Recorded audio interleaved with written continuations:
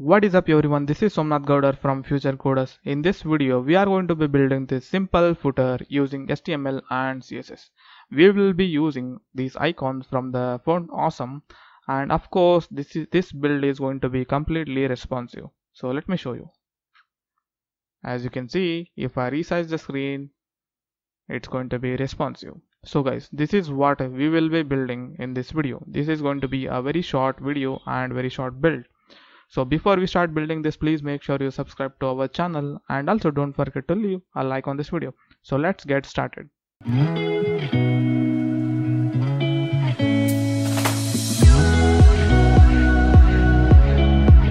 Okay now inside of our visual studio code as i said we will be using uh, font awesome icons right? So let's import those.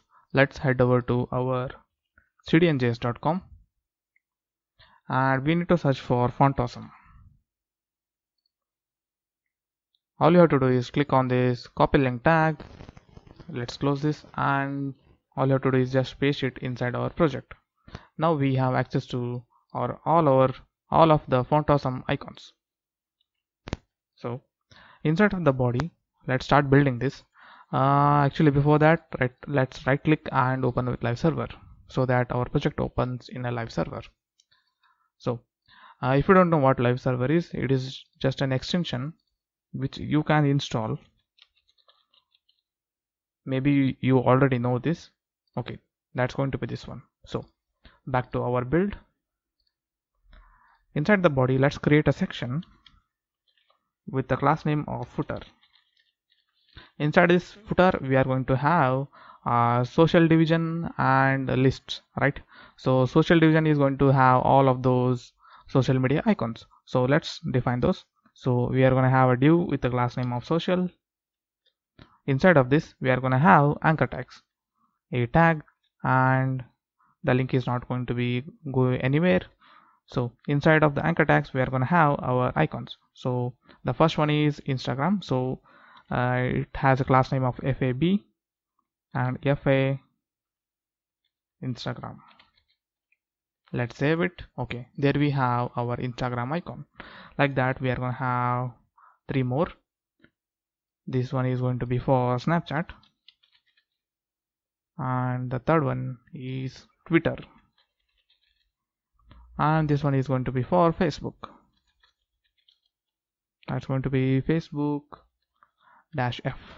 So there we have all of our social media icons so right after this social uh, right after this social div we're going to have a list uh, unordered list with the class name of list. Inside of this we are going to have a list and we are going to have anchor tags. The anchor tag this one this one is going to be say home. Like that we are going to have a list item for services and about and we're going to have two more of these. It's going to be for terms. And the last one is going to be for privacy policy. Okay there we have our unordered list. So right after this we are going to have right after this unordered list we are going to have a p tag with the class name of copyright. This is going to say future coders okay let's save this. Okay now we are done with our html part. So let's head over to our styles.css file. Make sure you link our local css file. So inside of our styles.css file let's target everything. By default the browser applies some default margin and padding. So we need to clear it by saying margin 0 and padding to 0 and box sizing to border box. So now let's target our whole body. And for the body I'm gonna set the uh, font family. This one. And let's also set the font weight to 400 I'm gonna use a background color of a little bit grayish. This one. Okay. Now let's target our footer. This one which is having all of this this one. That's going to be our footer. So let's target that. I'm gonna set the padding 40 pixels to top and bottom and 0 pixels to left and right. Okay? And I'm gonna have a background color of white. There we have it. Now let's target the socials. These icons which are present inside the footer let's target those. I'm gonna say footer social. That's what it is named right? Social. So here I'm gonna say text align to center. Okay this okay now they are aligned centrally. I'm gonna add some padding to the bottom. 25 pixels.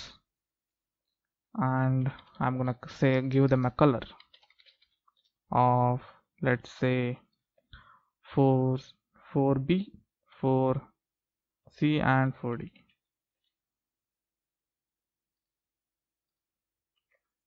okay there it's not applied yet. Okay now let's continue it.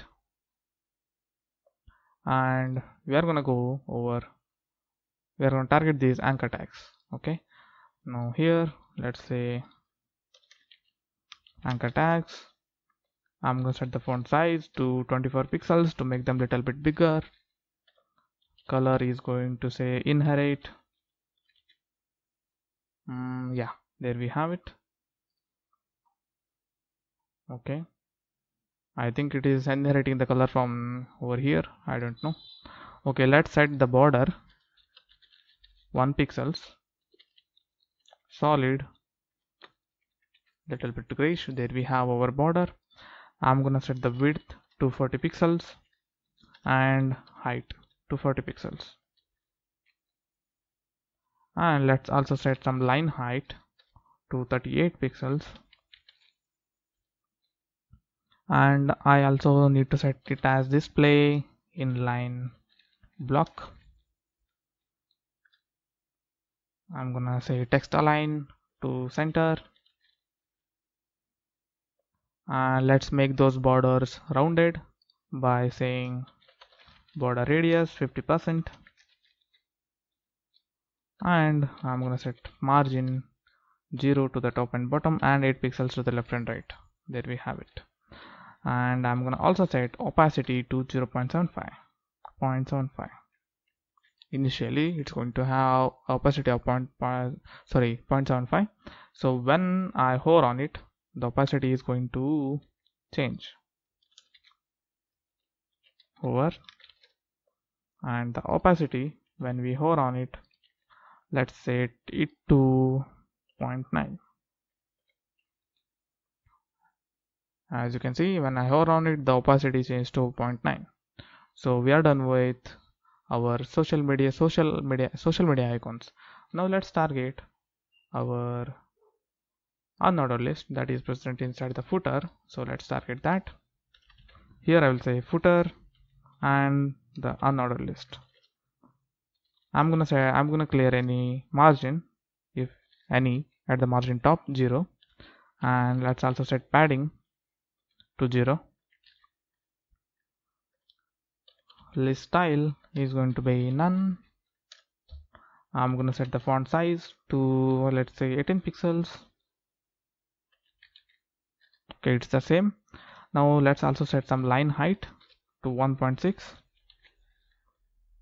and margin bottom to 0 it's gonna clear any margin if any margin is being applied. So so let's target uh, the link tags which these anchor tags which are present inside the unordered list.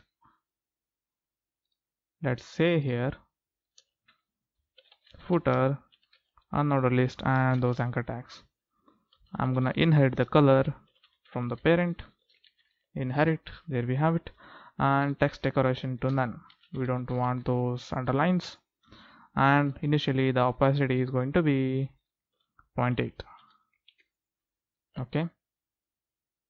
Now let's target the links these LIs that are inside footer UL LI this one actually I also need to add LI here. Okay. Now for the LI we're gonna set it as display inline block.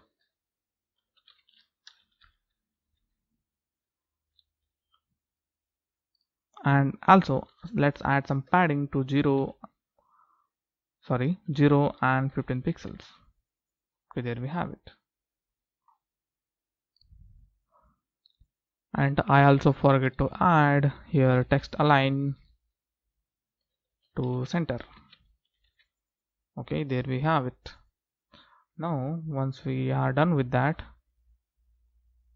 let's add the hover functionality to these these one which are present inside the li these list items. So here I'm gonna target the a tag and add some hover functionality and I'm gonna say change the opacity to 1 as you can see when I hover on it the opacity is changing slightly. It is not uh, that observable but it is changing. Yes it is changing. Now the one final thing left is this copyright section. So let's target that. It is present inside the footer and copyright and for that I'm going to set the margin to the top 15 pixels. Text align to center. Font size to 13 pixels. Color is going to be this one. Okay there we have it our responsive footer section.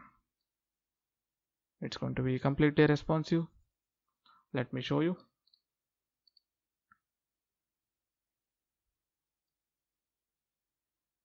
There we have it. So that's it guys for this video. I hope you guys enjoyed and hope you guys learned something from this video. Make sure you subscribe to our channel and also don't forget to leave a like on this video. So i will see you in the next one